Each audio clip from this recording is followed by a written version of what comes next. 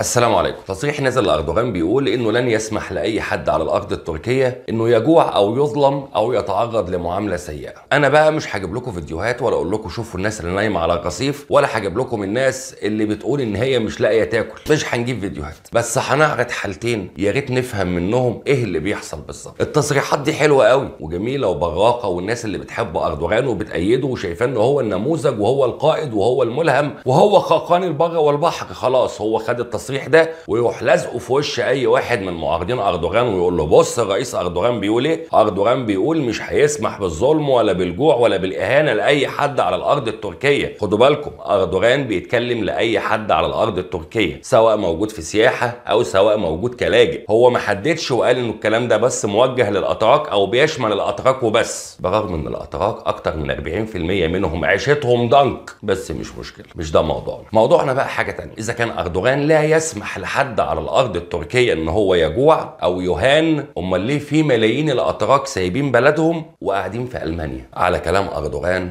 انه هي دي مبتغى أي إنسان. أنا نفسي أقعد في مكان ولا جوع ولا أهان ولا تساء معاملتي إذا أنا وصلت للمكان ده في دولة تركيا يبقى أنا استحالة حاسبها. دي بالنسبة لي هتبقى الجنة المنشودة خلاص. مش كده ولا أنا غلطان؟ ليه بقى في ملايين الأتراك سايبين تركيا وعايشين في ألمانيا؟ بلاش دول. ليه بقى في مئات الآلاف من اللاجئين السوريين ما بيصدقوا إن تجيلهم فرصة علشان يهربوا من تركيا ويدخلوا على أوروبا؟ برغم حاجة إن هو لما يروح أوروبا هو مش ضامن ولا يشتغل ولا يلاقي مكان ينام فيه ولا يلاقي أكل ياكله. هو لما بيقرر إنه يهرب لأوروبا فهو بيقرر إنه يهرب للمجهول. معنى كده إنه العيشه اللي هو عايشها في تركيا زفت وطين مش زي ما أردوغان بيقول خالص. يبقى إحنا عندنا تصريحات أردوغانية موجهة للفئة المغيبة اللي بتتابعه علشان تقولوا آه هو ده خاقان البر والبحر. هو ده زعيمنا المفدى. بينما على أرض الواقع التصريحات دي والكلام ده ما هو إلا عنتريات ملهاش أي أساس ابدا على الأرض. على الأرض الدنيا زفت وطين. الليرة سعرها عمال ينط والبطالة بتزيد والتضخم بيزيد. وكمان مع انتشار فيروس كورونا السريع جدا في دولة تركيا اللي كشف وفضح النظام الصحي اللي في تركيا اللي كانوا بيقولوا قبل ما يعلنوا عن أول حالة إن إحنا اتخذنا من الإجراءات والتدابير ما تمنع دخول الفيروس لتركيا. أهو الفيروس دخل وعمال بيتزايد وبيتكاثر بأعداد رهيبة كل يوم وانتوا ولا حس ولا خبر. فعلى مستوى التصريحات التركية دايما تصريحات جميلة وبراقة خاصة الموجهة للعرب والموجهة لمؤيدين أردوغان من العرب. بينما على أرض الواقع الدنيا بتختلف تماما. بس المشكلة إن إحنا عندنا ناس بتاخد بالتصريحات وما بتشغلش مخها ولا بتشغل عقلها. الأسبوع اللي قبل اللي فات بس لما تركيا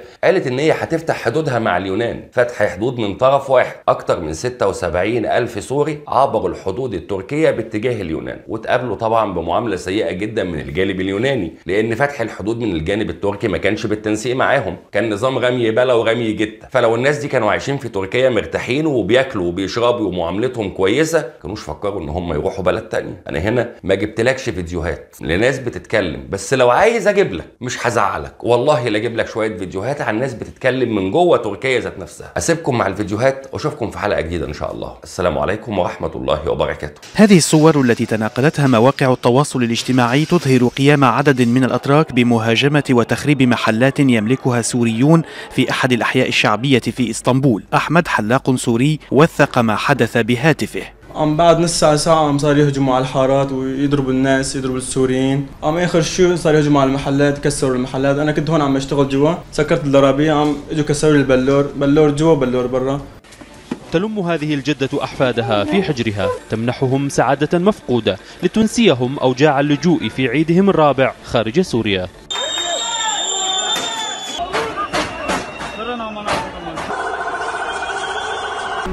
دقنا هذا الزلمه على أساس بدنا نجي نحن نشوفه اما قلنا لا لا تجوا بده يقتلوكم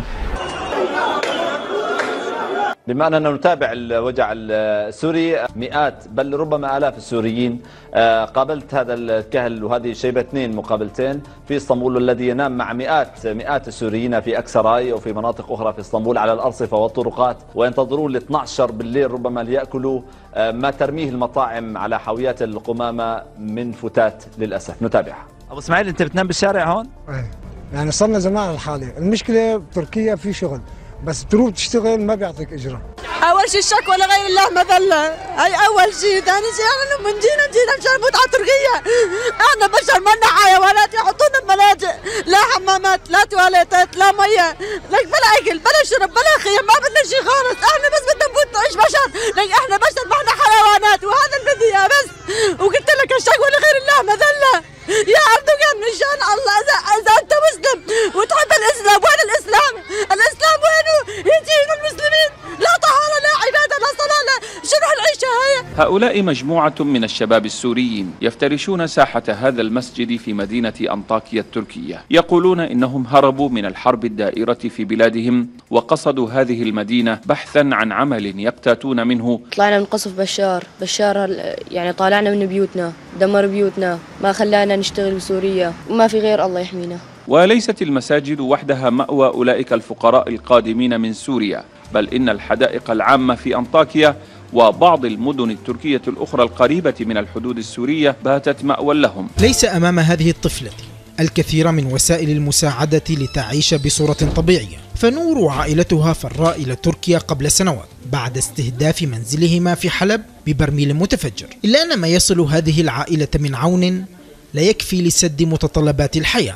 والله أكثر شيء محتاجة تعليم بناتي وأطرافهم عندي أهمية من الأكل والشرب. ممكن أنام جوعانة بس أعمل لهم يعني دراسة وأطراف تريحهم يعني إذا أكلت لقمة بنتي عم تتوجع بالطرف إيش استفدت أنا؟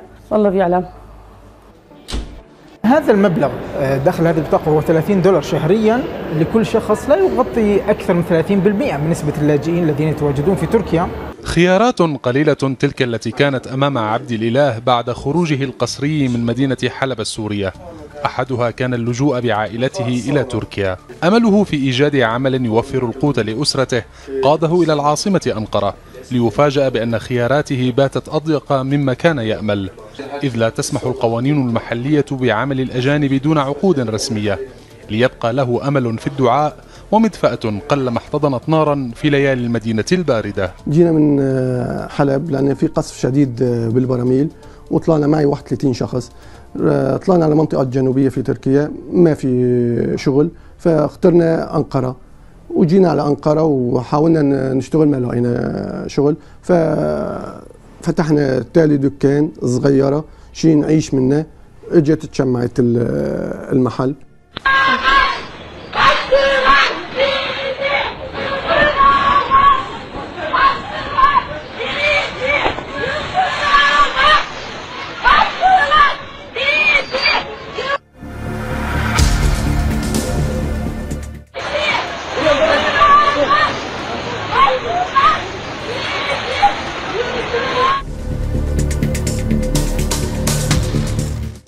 Tabloya bakın değerli arkadaşlar.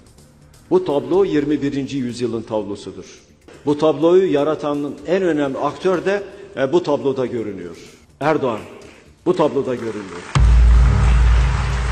Bu kadıncağızın tanzim satış mağazasına gidecek parası bile yok. Bu kadıncağızın otobüse binecek bile parası yok.